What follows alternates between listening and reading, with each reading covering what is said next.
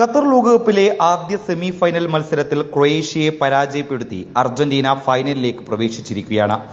ടൂർണമെന്റിലുടനീളം തകർപ്പൻ ഫോമിൽ കളിക്കുന്ന സൂപ്പർ താരം ലയണൽ മെസ്സിയുടെ മികച്ച പ്രകടനം തന്നെയാണ് അർജന്റീനയുടെ വിജയത്തിന് പിന്നിൽ. കരിയറിലെ അവസാന ലോകകപ്പ് കളിക്കുന്ന മെസ്സി ലോക കിരീടം നേടി. ഇതിഹാസം എന്ന പദം പൂർത്തിയാക്കാനുള്ള ശ്രമത്തിലാണ്. ലയണൽ മെസ്സിക്കും അർജന്റീനയ്ക്കും പിന്തുണ പ്രഖ്യാപിച്ച് രംഗത്ത് വന്നിരിക്കുകയാണ് ബ്രസീലിയൻ ഇതിഹാസ താരം റിവാൾഡോ. അടുത്ത ഞായറാഴ്ച ദൈവം മെസ്സിക്ക് കിരീടമണിയിക്കും. ലോക കിരീടം മെസ്സി എന്നോ അർഹിച്ചതാണ്. ലോകകപ്പ് ഫൈനലിൽ ഇനി ഏതായാലും ബ്രസീലും നെയ്മറുമില്ല. അതുകൊണ്ട് അർജന്റീനക്കൊപ്പം നിൽക്കുന്നു. ലയണൽ മെസ്സി ഒന്നും പറയാനില്ല.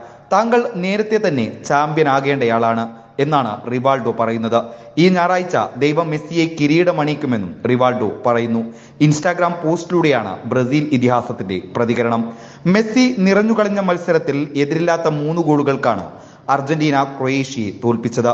അർജന്റീനയ്ക്ക് ലീഡ് നൽകിയത് മെസ്സിയുടെ പെനാൽറ്റിയാണ് പിന്നീട് ജൂലിയൻ അൽവാരസ അർജന്റീനയ്ക്ക് വേണ്ടി രണ്ട് ഗോളുകൾ നേടി.